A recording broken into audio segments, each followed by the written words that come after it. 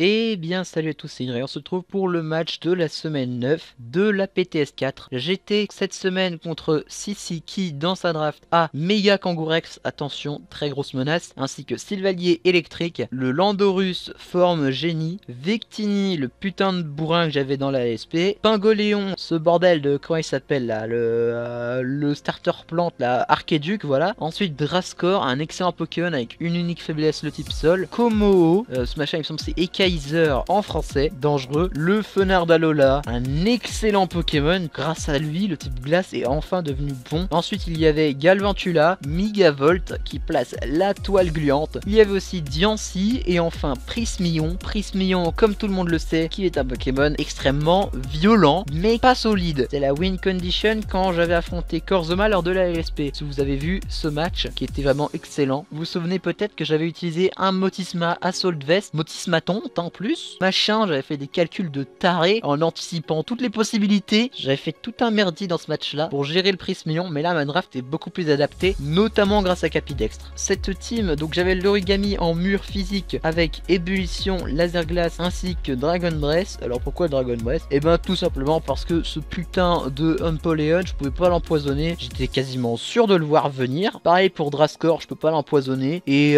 bah du coup mettre Dragon Breath ça permet de paralyser et de gêner et donc de potentiellement prendre l'avantage dans le stall. Ensuite j'avais Stinger, bah voilà déjà un Pokémon échangé qui est là, avec vaccin pour pas se faire empoisonner. J'ai mis sabotage et demi-tour. Bah, sabotage pour virer les objets, euh, on présente plus d'attaque. Demi-tour bah parce que ça me permet d'envoyer mes Pokémon offensifs derrière, ou un Pokémon défensif au choix. Les pièges de rock parce qu'il me fallait un poseur contre son équipe que je voulais eh bien gratter les trucs, notamment le Victini qui est extrêmement casse-couille, hein. ça c'est bien de le gratter. Pareil pour Fenard, c'est un truc qu'il faut gratter à tout prix et le Prismion prend la moitié de sa vie sur les pièges de rock, donc on va pas se priver des pièges de rock quand même. Hein. Voilà, et puis défensif physique parce qu'il a une très bonne défense. Alors il faut savoir que cette fois-ci, eh bien j'ai changé de mes habitudes. D'habitude je prenais souvent des teams qui étaient semi-stall. C'est vraiment mon style de jeu, le semi-stall. permet d'avoir un corps défensif très très solide. Mais là je préférais jouer un peu plus offensif avec trois Pokémon offensifs. Donc mon dernier défensif c'est mon Murspé, le masochiste. Alors je n'étais pas sûr de le prendre au début, c'est pour ça que je le ramène que maintenant. Parce que eh ben, vous le voyez, j'ai que Giga Drain et je savais que euh, je voulais pas tout avoir.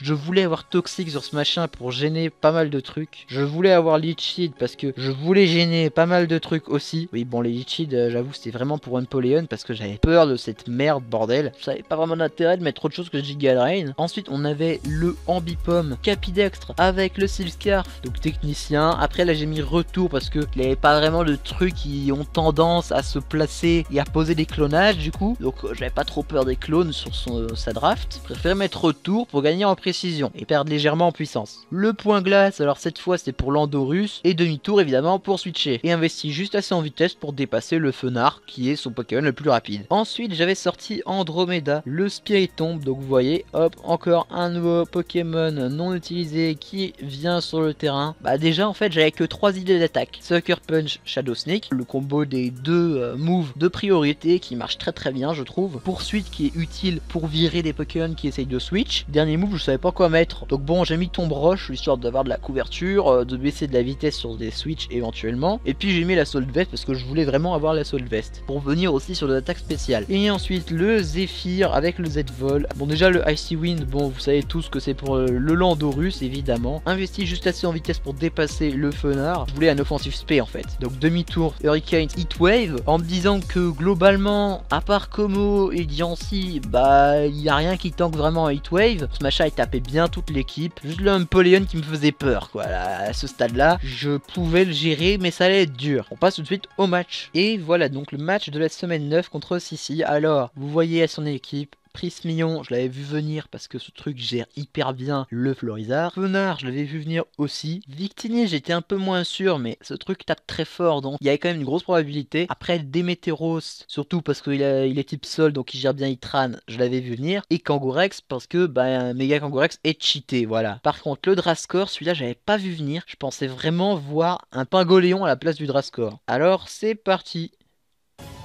Alors j'ai lead avec utilité parce que bah, utilité outspeed absolument tout ce que je, ce joue dans sa team. Voilà, il, il outspeed toute la draft, sauf les scarfs. J'ai voulu faire pour commencer un bluff sur ce machin, histoire de voir un peu son set, s'il était défensif et tout ou quoi, et éventuellement de faire des dégâts de grattage. Sauf que le Rocky Helmet, je pensais pas qu'il allait avoir le Rocky Helmet sur ce machin, je pensais vraiment voir une boue noire ou un bandeau choix. Mais non, non, non, Rocky Helmet, donc derrière, et eh j'ai pas osé faire le demi-tour pour pas prendre les dégâts de recul. Et j'ai envoyé Zephyr directement, il fait sabotage qui était bien joué en anticipant un switch. Mais moi, eh ben, j'ai été quand même un peu plus malin que ça vu que bah, j'ai Crystal Z. Donc, euh, donc voilà, je m'en foutais. Derrière, je balançais un Z-Vol en me disant que dans cette team, bah, il n'y avait rien qui venait dessus. Donc c'était quasiment sûr à 100% que je faisais un kill de toute manière. Il y a le Victini qui se ramène. Moi j'envoie Stinger en anticipant justement une attaque électrique. Donc j'ai super bien joué là. Il switch. Et surtout qu'en fait, quand j'ai vu le Victini arriver sur le Boreas, je me suis dit, c'est pas possible. Envoyer un Victini comme ça sur un Boreas, c'est sûr à 100% que ce machin est Scarf. Je vois pas ça autrement. Et c'est pour ça que j'ai envoyé Stinger pour prendre une attaque électrique que j'ai anticipée. Et bah c'est arrivé, et comme il a switché derrière, voilà, j'étais sûr que ce machin était Scarf. Donc derrière, il y a le Demeteros qui se ramène. Moi j'avais peur d'une puissance cachée glace de Demeteros. Donc je switch. Je ne tente pas le demi-tour. Et j'envoie l'origami pour voir ce qu'il fait dans Slam. Bon, l'origami est défensif physique, mais quand même, j'ai peur un peu.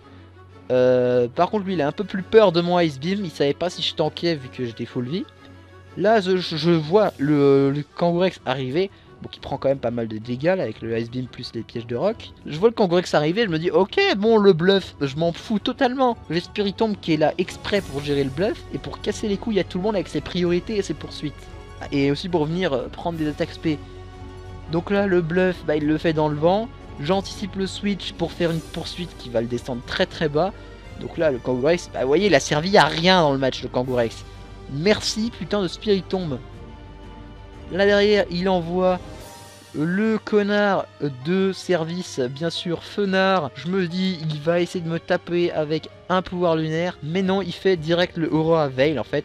Et moi, j'envoie Masochiste en me disant, 50-50. Soit il fait l'attaque glace et je suis niqué, soit il fait Aurora Veil, soit il fait le pouvoir lunaire et tout va bien. Bon bref, il fait le Aurora Veil qui me gêne vraiment. Euh, j'aurais préféré un pouvoir lunaire mais c'est pas grave. Je méga évolue, je miss my shield. Euh, bien sûr, c'est gênant comme truc ça. J'anticipe un Z-Vol que je sens tellement venir.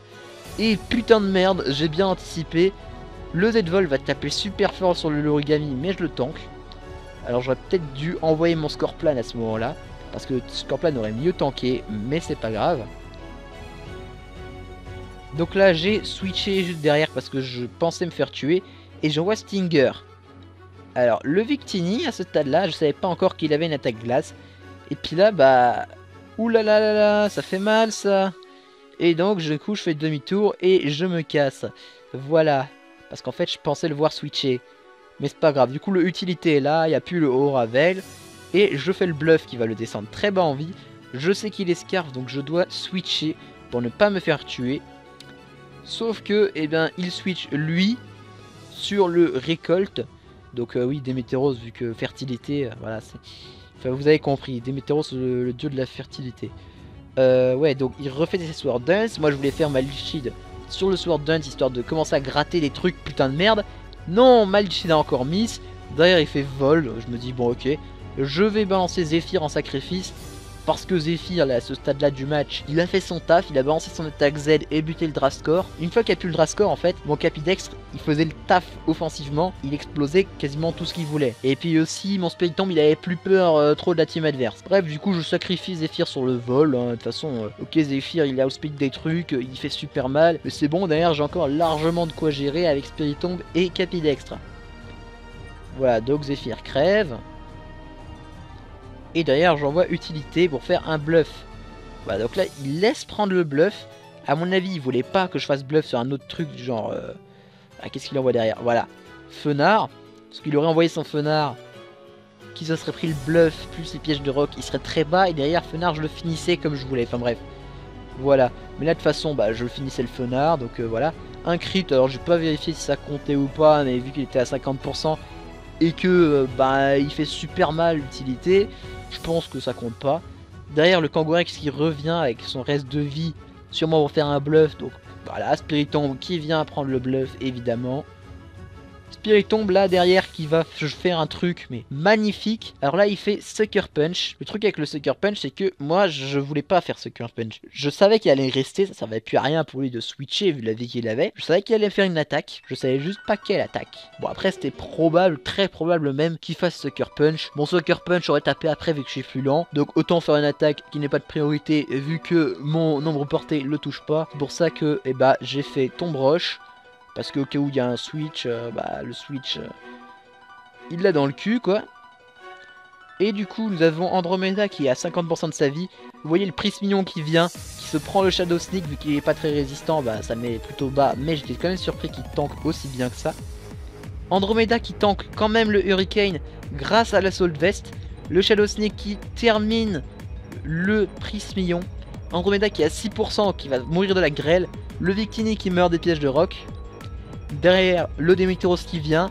Alors ce tour-là, bah, il est censé mourir de la grêle, l'Andromeda. Sauf que, bah, vu la vie du Demeteros, le Shadow Sneak le finit et Andromeda survit au combat à rien du tout alors que la grêle allait le tuer. Bref, Andromeda a fait un, truc magnifique. Enfin, il a pas tué 4 Pokémon, il en a tué 3 techniquement. C'est Scorplan avec ses pièces de rock qui a tué le Victini. Mais vous voyez le Spiritomb Assault Vest qui a fait un taf monstre. Ah, Spiritomb, il est franchement cool. Parce que du coup, regardez sa team euh, Victini, Fenard, euh, Prismillon. Il y a 3 Pokémon qui sont faibles au piège de rock là. Ça fait un peu beaucoup quand même. Surtout qu'il y en a un qui prend la moitié de sa vie. J'ai essayé de jouer une team balance cette fois avec seulement 3 Pokémon défensifs, plus un bulky. Et bah ça a super bien marché. C'était vraiment un superbe match. N'hésitez pas à lécher le pouce en l'air, à lâcher un commentaire à mes pancakes, à vous abonner si c'est pas déjà fait. Et surtout, le plus important, mangez des à citrouille et bye. Et on se retrouve la prochaine fois pour le match de la semaine 10 de la PTS 4. Allez, salut